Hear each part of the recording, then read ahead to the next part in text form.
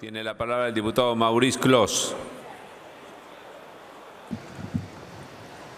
Buenas tardes, señor presidente. Muchas gracias. Algunos conceptos. Más allá de que algunos valoren lo que ocurrió, yo no puedo disimular que tengo enormes incógnitas. La primera es el preguntarme el por qué un Congreso de la Nación como el nuestro somete leyes como esta o de la emergencia social luego de haber aprobado el presupuesto. Permítanme decirles que entiendo con mucha modestia y entendemos desde una visión provincial que esto no tiene lógica.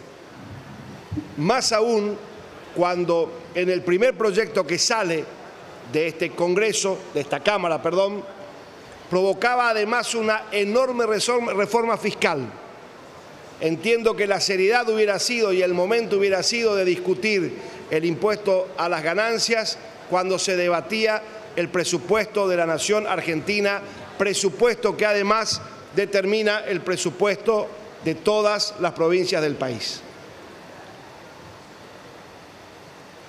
Me preocupa también que en estos días, no solamente con este proyecto de ley y con esta media sanción que se dio, sino con otros como reforma electoral, tarjetas de crédito, por citar algunos, este hecho de que el proyecto que eleva el Ejecutivo llega al Congreso, nuestras comisiones los van cambiando, en el recinto se vota en general y luego en particular se sigue cambiando, me preocupa que pareciera en algunos casos que las leyes que salen desde la Cámara de Diputados terminan siendo meros ensayos que luego deben ser ratificados o pontificados por el Senado de la Nación.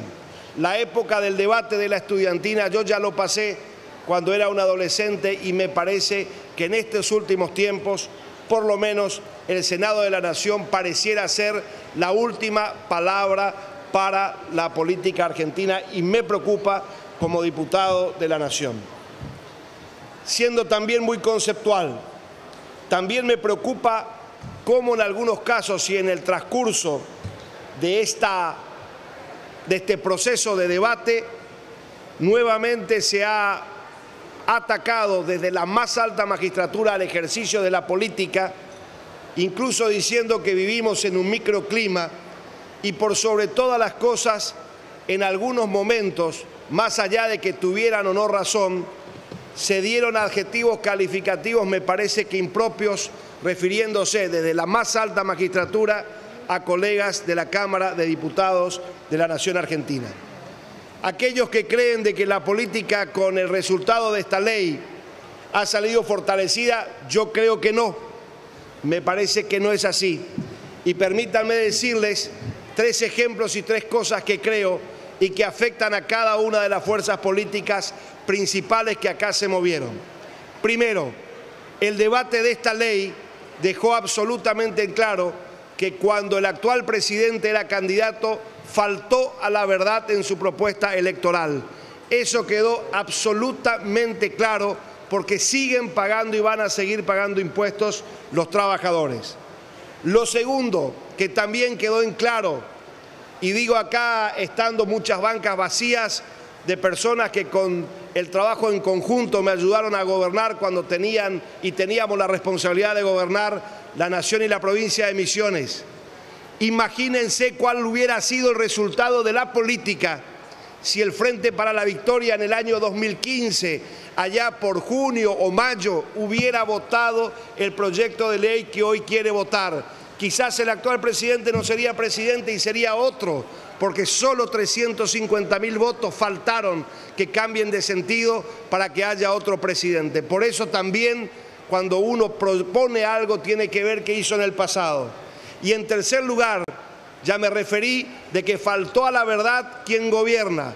Ya me referí a que los que gobernaron, si tuvieran tenido la misma actitud hoy, hace un año y pico, probablemente seguían gobernando. Me quiero referir a los que todavía no gobernaron y que también fueron fundamentales en este debate, decirles que la política tiene archivos y uno no agarra con beneficio de inventarios y que si un día llegan a ser gobierno de la nación, ni ahí van a poder cumplir con todas las propuestas que están haciendo desde un cómodo rol de opositores.